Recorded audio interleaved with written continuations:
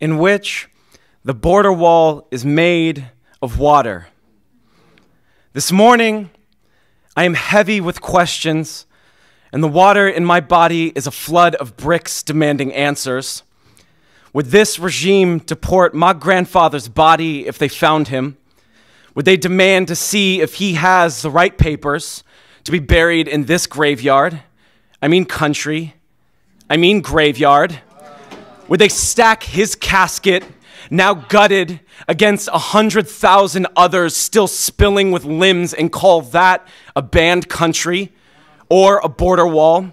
How better to keep out the living than to kill them yourself? To make it policy? To stretch the ocean into a fence or poison the water? My grandmother sits in our backyard watching over San Diego. She drinks from her glass and it starts to rain. She kisses my father on the cheek, and the drought is over. When she speaks, it sounds nothing like a gun. When she speaks, no one dies. With this country still cut a border across my grandmother's tongue for the way her accent rolls out of her mouth like an avalanche of machetes or a flood of people trying to return home.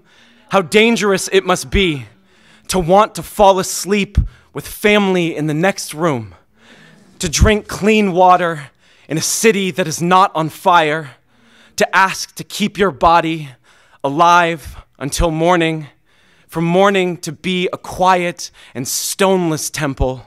Today, I am heavy with hurt, and the water in my body is a stampede of boots, all running from an unhinged throat.